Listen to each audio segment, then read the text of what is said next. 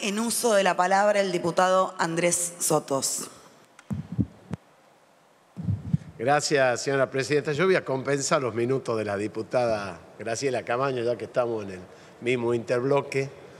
Este, y voy a pedir autorización para insertar, pero sin en breves palabras, porque también creo que hay parientes esperando eh, la aprobación de esta ley.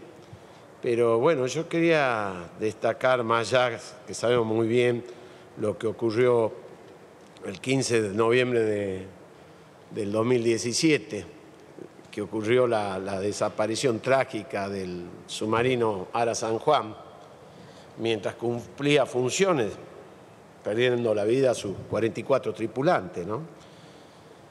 Este proyecto que hoy día tratamos, que lo explicó muy bien la diputada Camaño, este, habla de una asignación económica para los familiares de los tripulantes del Ara San Juan, este, del submarino Ara San Juan.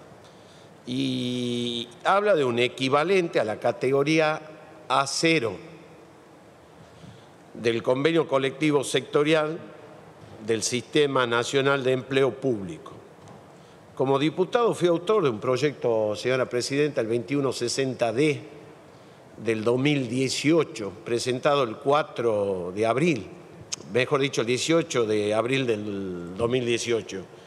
Y, ese proyecto hablaba públicamente, este, está inscrito en el trámite parlamentario número 31, y hablaba sobre una pensión honorífica, vitalicia, a los derechohabientes de los tripulantes del submarino.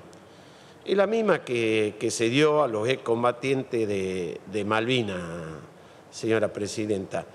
Y, y, en esto quiero destacar que esta fórmula que se está aplicando es la misma que se aplicó, como lo, lo, expresaron ya otros diputados, a lo de la AMIA, a los de eh, la fábrica militar de Río Tercero, sí termino, que este, va a llegar a, a 6.600.000 más o menos el resarcimiento económico.